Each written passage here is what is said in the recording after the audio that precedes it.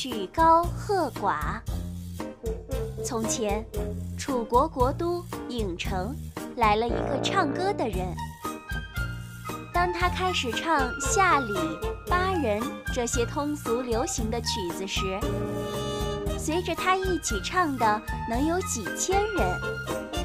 后来，当他唱杨阿、谢露这样比较文雅的曲子时，跟他一起唱的只有几百人。而当他唱《阳春白雪》这样高雅的曲子时，跟他一起唱的不过几个人了。熟能生巧。北宋有个射箭能手叫陈尧咨，一天他在家练箭，十中八九，旁观者拍手称绝。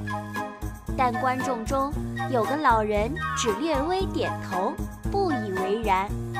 陈尧咨很不高兴，问：“你看我射得怎样？”老人回答：“你射得可以，但没有什么奥妙，只是手法熟练而已。”陈尧咨追问老人有啥本领。老人把一个铜钱盖在盛油的葫芦口，取勺油倒向前眼，全勺油倒光了，未见铜钱眼外沾有一滴油。